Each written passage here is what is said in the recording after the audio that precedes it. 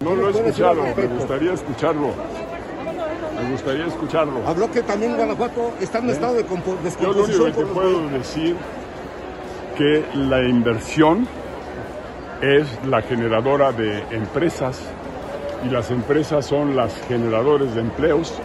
En gobierno no se generan empleos, al revés se castigan empleos. En gobierno no tienen la iniciativa de impulsar y crear riqueza. La riqueza la generan las empresas todas. Por eso yo defenderé siempre al ALA, a PEMSA, a Bimbo, a la Ford, a la Chrysler, a todos los agricultores, empresarios. Es de lo que vivimos todos los mexicanos, no de las dádivas de López Obrador. Entonces, viva la empresa privada, viva la iniciativa privada, viva la inversión no debemos de patear el pesebre, que es lo que está haciendo López, pateando el pesebre. Se va a arrepentir de destruir todas las oportunidades y el futuro de este país. Este golpeteo que da hacia Guanajuato, que es pues cada mañanera, ¿qué, decir ante este golpeteo que da al estado de Guanajuato? La respuesta a las mañaneras son estos eventos. Vámonos a participar en este evento porque esta es la respuesta a la mañanera, es la gente que trabaja, la gente que tiene iniciativa, que crea nuevos proyectos, que lo hace con responsabilidad social.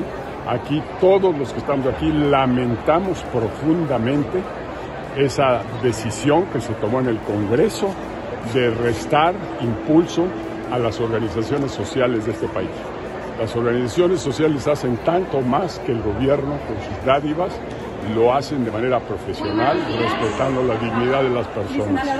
Ya, ya, ya, ya, ya, ya. Organizaciones de la sociedad civil. Repito, somos imparables y seguiremos adelante. Al Congreso, señalarle que se comete grave error en frenar esta energía, esta actitud positiva esta entrega total, esta pasión por servir a los demás. Así pues, bienvenidas y bienvenidos a este lugar que es su casa, el Centro Fox. Vamos México y Crisma.